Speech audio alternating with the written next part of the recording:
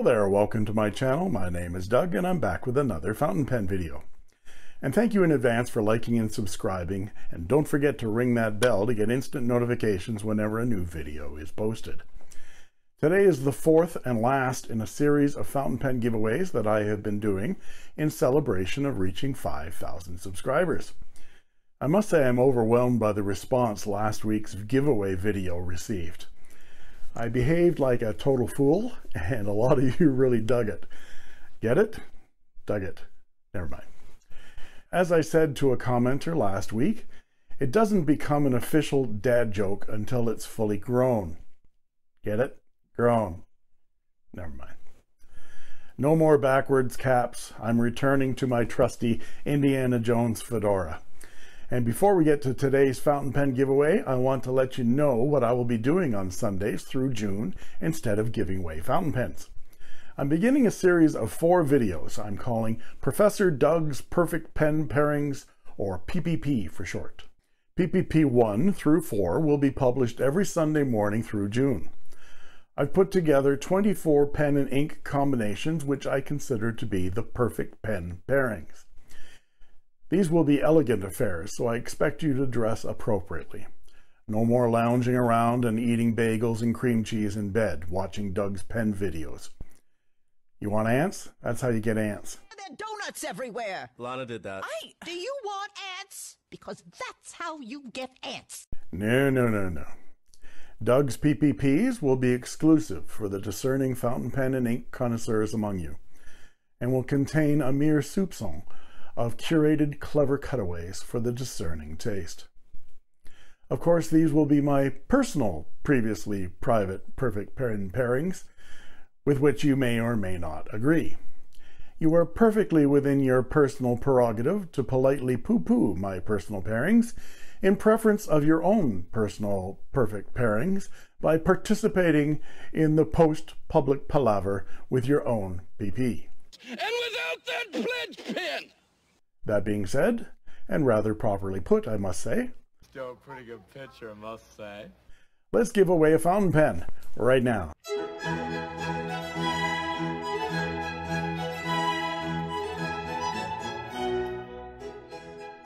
And before we get into giving away one of these two Moonman M2s, let me show you some pen reviews that are in the works for the next few weeks.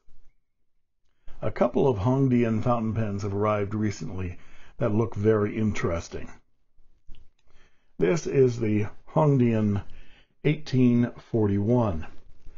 I was drawn to its classic styling and terrific dark red color, but also because it has a resin section and sports a number 6 size steel nib. I'm looking forward to inking this one up. Looks like a beautiful fountain pen. Still toying with what ink to pair with this color. Any suggestions? All right, next suggestion. Next suggestion. Uh, you need to do something about your BO. You need to do something about your BO. And this is the Hongdian 6016. It has a wooden barrel and a heavy metal cap, and finial, and even a metal section. I know what you're thinking. Why did I get this? Well, I was intrigued by how much it resembles the Moonman P135, and by extension the Mont Blanc Petit Prince. It also looks like the smaller version of the Moonman M1000, so perhaps instead of being a doorstop, it might at least hold a screen door open. Sorry, Lois. Half of being a godfather is closing the door in your wife's face while she wonders what's going on inside. But I just wanted to...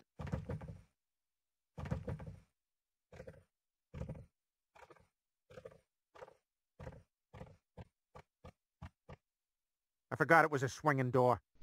Interesting nonetheless. And here is a new model from Moonman or Majohn, whatever. It says Moonman on it everywhere. This is the C3. This is a very interesting looking eyedropper which can also be used with a converter. It looks like it'll take a ton of ink, but unfortunately it sports a number 5 size steel nib. I don't get these bigger pens with the smaller nibs, like the TWSBI Draco.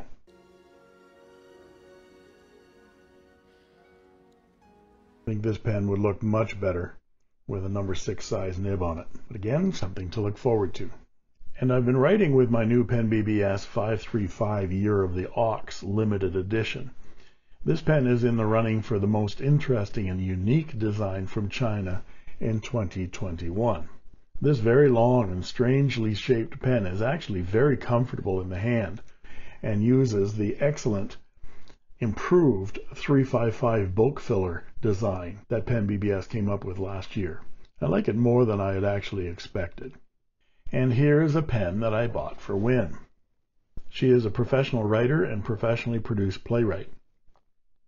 She's currently working on getting her new novel published, so she is in and out of meetings with her editor and producer. And she uses this Pentel Kerry mechanical pencil that her kids got her for Christmas all the time. Plus, she enjoys fountain pens. So I immediately thought of getting her a vanishing point, and, and that would be just be a perfect pen for her. And I found the perfect color to pair with her Pentel. And because she likes slimmer pens, I got her a Decimo. I got this from Goulet Pens, and I'll review it next week. It's a medium, and she loves it. In addition to doing reviews and pen and ink pairings, I've been working on some new Ink Buddy design prototypes. Now I have three kinds of Ink Buddy cube caddies.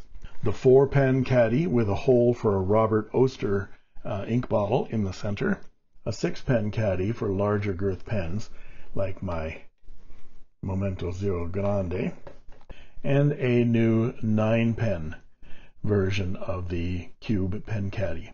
I also designed a prototype Ink Buddy ink Scrooge for the 3 ounce Noodler's bottle of ink. It works perfectly the first time out. It sits inside the bottle and allows the cap to go on. And all you do when you're running low on ink is turn the bottle upside down and allow the ink Scrooge to fill up the cup with ink and you end up with uh, your ink raised up to a level where you can get a pen in there and uh, and get the last remnants of your ink bottle. I'm following up on this one with ink Scrooges sized for other ink bottle sizes. Which size would you most want? And you can see all the Ink Buddy stuff on my son's Etsy store called Allied Armorers. And I'll put the link in the description. Okay, now for the giveaway. I have two Moonman M2 eyedropper pens. Neither of them have stock nibs that came with the pens, as I found both the fine and the extra fine number 5 size Moonman nibs uninspiring to say the least. So I picked up a couple of stub nibs that fit the collar and feed of the M2 from Bobby on eBay. The one on the left is a 0.7 and the one on the right is a 1.1. I can't decide which of these nibs I like better, so I'm going to let the lucky winner decide which one they want. You can see my original M2 review from February 2019 by going to the link in the description. I apologize in advance uh, for the primitive video review. I'd only been doing it for about a month at the time. What a noob. So let's do a dipped nib writing sample from each of these M2s. I'll use the ink I originally inked these pens up with, a Iroshizuku Yamabudo. I love this ink. First up, the 0.7 millimeter stub.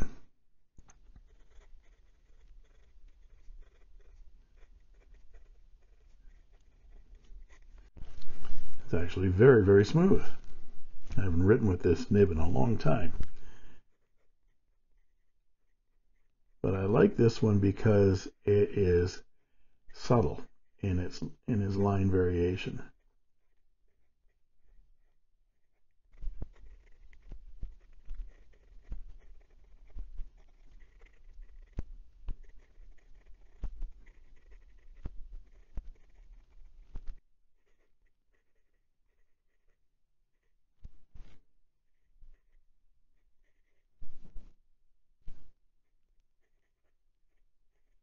and next the 1.1 stub.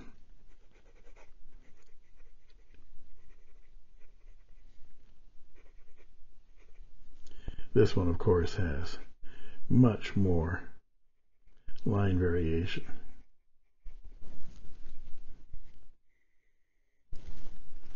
This one also is very smooth.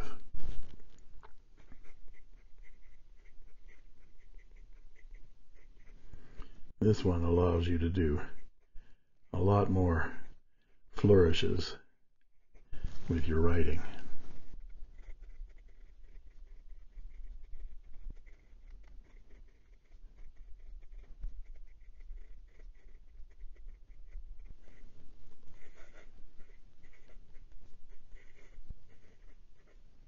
To win your choice of one of these two fountain pens, simply be a subscriber and leave a comment below within 72 hours of the posting of this video. That will be 7 a.m. Pacific, 10 a.m. Eastern, and 3 p.m. GMT on Wednesday, June 2nd. At that time, I will plug all of the comments into my Bambleweeny 57 sub-meson brain, feed those results into an atomic vector plotter, give it a really strong cup of tea as a Brownian motion producer, and draw a winner by simply hooking the logic circuits of a Bambleweeny 57 submeson brain to an atomic vector plotter suspended in a strong Brownian motion producer, say a nice hot cup of tea, had long been understood. Multiple comments do not give you extra entries, but could start an interesting discussion. I, I can't help feeling, Doctor, that you're making a mistake not allowing the woman to talk. I, if she'd been around at all, she might have picked up some very interesting news items. And I'm sure you're making a mistake about all that beer and no whiskey, but it's your two weeks. I'll post the winner in a pinned comment on this video and on my community tab. If you're a subscriber, make sure you've enabled notifications by clicking on that little bell. You'll get a notification by email when I've posted the winner. If you are the lucky winner, you will have 72 hours in which to contact me at my email, shown right here, with your name and address so I can ship you your prize. As always, I reserve the right to refuse to ship to places like Timbuktu. Hmm, I knew I should have taken that left turn at Albuquerque.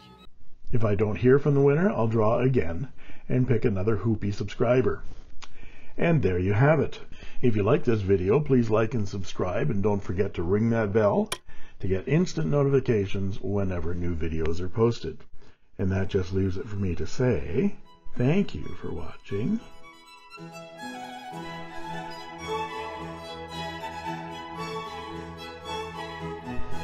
And that's all she wrote.